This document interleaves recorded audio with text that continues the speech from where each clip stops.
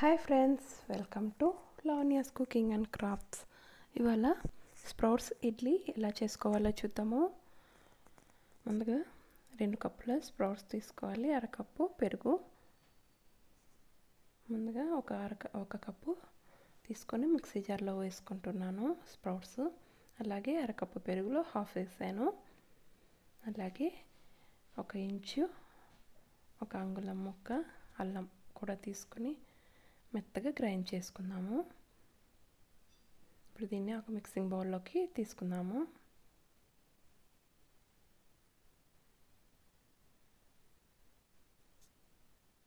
అలాగే మిగిలినవి కూడా వేసుకొని అవి కూడా మెత్తగా గ్రైండ్ చేసుకుందాము. చేసుకున్న తర్వాత ఇప్పుడు ఇందులో తరిగిన ఒక క్యారెట్ తురుము రుచికి సరిపడా ఉప్పు ఒక పావు టీ స్పూన్ బేకింగ్ సోడా వేసుకొని నీళ్ళు కావాలనుకుంటే వేసుకోవాలి. వేసుకొని అంత బాగా మిక్స్ అయ్యే మిక్స్ చేసుకోవాలి.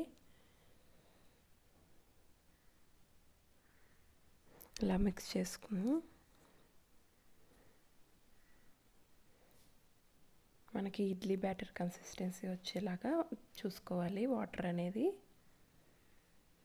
మనకి ఈ కన్సిస్టెన్సీలో ఉండాలి. ఇప్పుడు మనకి రెడీ అయిపోయింది కదా అది పక్కన పెట్టుకుందాము. ఇప్పుడు ఇడ్లీ ప్లేట్స్ తీసుకొని నెయ్యి రాసుకుందాము. మీకు కావాలనుకుంటే నూనె అయినా రాసుకోవచ్చు.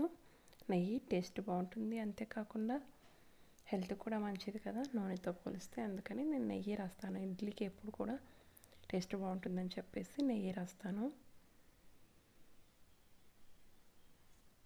ఇలాగా అన్ని ప్లేట్లకి నెయ్యి రాసుకొని ఇప్పుడు మనం రెడీ చేసి పెట్టుకున్న ఇడ్లీ బ్యాటర్ ఉంది కదా sprouts idli batter.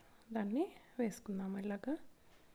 Seventy five percent వరకు వేసుకుని అన్ని ప్లేట్స్ని ఇలాగ స్టాండ్లో పెట్టుకుందాము.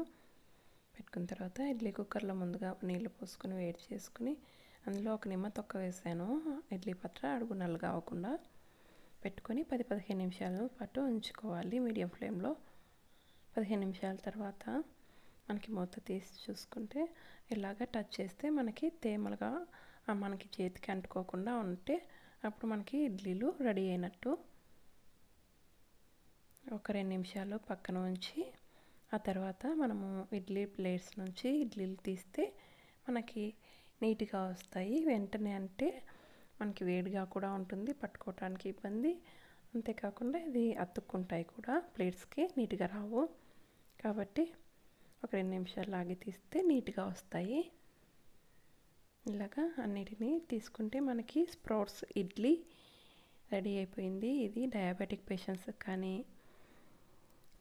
ఇంకా ఎవరికైనా డైట్ ఫాలో అవ్వాలనుకునే వాళ్ళకి కానీ ఎవరికైనా ఇది హెల్త్కి చాలా మంచిది. మంచి ప్రోటీన్ రిచ్ ఫుడ్ అని చెప్పచ్చు. మనకి మొలకల్లో ఎంతో ప్రోటీన్స్ ఉంటాయి కదా తెలుసు కదా అందరికీ. కాబట్టి ఇలా ఒకసారి మీరు కూడా ట్రై చేయండి. స్ప్రౌట్స్ ఇడ్లీ. ఆయిల్ లేకోకుండా ఎలాంటి ఆయిల్ వాడకుండా చాలా బాగుంటాయి. దీన్ని టొమాటో చట్నీతో కానీ కొబ్బరి చట్నీతో కానీ ఇదంతైనా తీసుకోవచ్చు. చాలా బాగుంటుంది.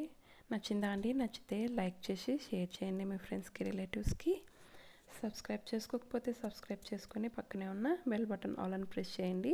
నేను పెట్టే వీడియోస్ అన్నీ నోటిఫికేషన్స్ వస్తాయి. ఈ వీడియో చూసినందుకు ధన్యవాదములు.